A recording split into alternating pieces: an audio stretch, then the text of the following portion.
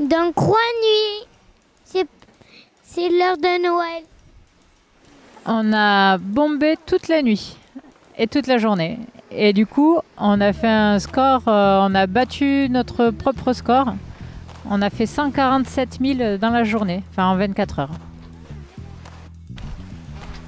Là, c'est le vrai Alizé. On avance dans un vent régulier. Là où le derrière, pourvu que ça continue, euh, ça nous permettrait de continuer à avancer régulièrement euh, vers notre arrivée.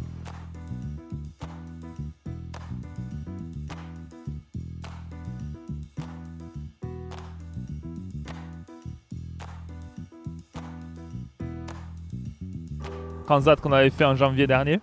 Il y avait eu énormément de sargasses. Et cette transat là, on a pas de sargasses du tout. Alors je pense que ça va faire du bien aux Antilles de pas se prendre des stades de foot de sargasses euh, toute la journée.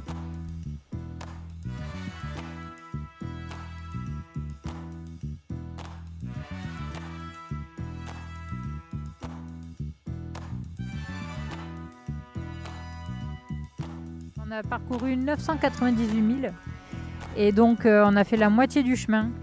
Alors euh, on ne peut pas faire de pronostic, on ne sait pas ce qui va se passer, hein. tout peut changer à n'importe quel moment, la météo, euh, n'importe quoi, une avarie.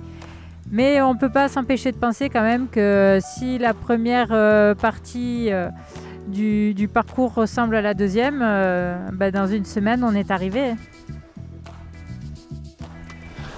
Je me suis trouvé un super concurrent pour faire la régate. Je régate contre moi-même de la saison passée. Euh, avec le journal de bord, euh, je calcule euh, l'écart qu'on a tous les jours. Et pour l'instant, on a 26 000 d'avance. C'est pas beaucoup, mais pour l'instant, je gagne. De toute façon, même si je perds, je gagne. C'est ou le mois du passé ou le mois du présent qui va gagner. Donc. Êtes-vous plutôt team janvier 2021 ou team décembre 2021 À vous de choisir. On voit personne, alors bah, du coup Nico il fait la course contre lui-même. Ma crainte, c'est que en janvier, la saison passée, on avait marché très fort la deuxième semaine. Et euh, donc du coup, euh, là, pour la course, ça va être cette semaine que ça va se jouer. On a repris de l'avance encore. 972.